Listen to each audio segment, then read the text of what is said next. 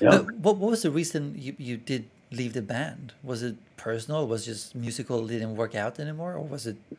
I know, Well, I, I know Sly. He was falling into some some drugs, if I'm not mistaken. Was that the case?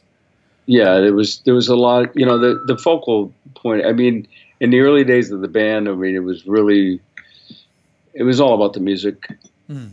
and uh, and then you know, at that point in time, you know, missing shows and the drugs and everything, it it the, the focal point I think changed and it became more about everything else and less about the music. And you know there was just a lot of things that um, that were a, a challenge and just you know I wasn't the music the music is what always drove me and kept it together you know Mm.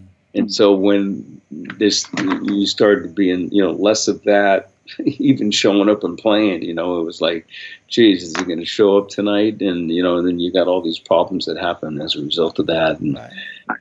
and then you know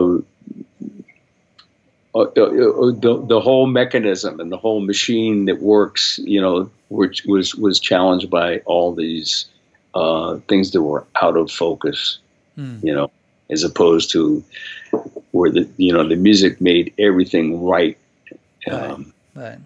in the earlier times, you know. Yeah. So yeah, I got disillusioned and Right. finally I left for about a year. Matter of fact, I, I didn't even play for about a year.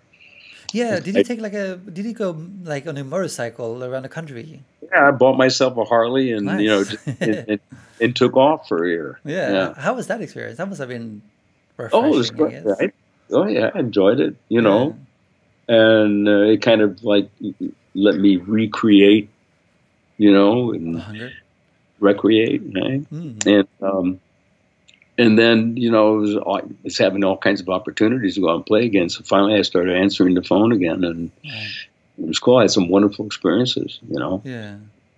I mean, because that's a you know a, a, a ballsy move, you know, actually to just be like, I'm gonna, I'm gonna ride my motorcycle for a year